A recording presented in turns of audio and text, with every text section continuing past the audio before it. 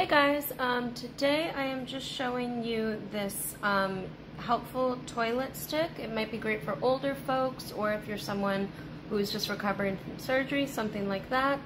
Obviously I can't fully demonstrate it for you, but I'll just give you a rundown of how it works. Um, here you'll see that there's this really great rubber grip. It's about 15 inches, so it gives a lot of reach if you don't have as much shoulder or back mobility. And all you have to do is you take a bit of tissue just like you would with your hands and you just put it in here like that and then you can wipe without having to stress your back or anything like that. So I got this actually for my grandparents, but I would recommend it for anyone who may be, like I said, recovering from surgery or, hey, if you just want to take it easy. Give it a shot. Bye.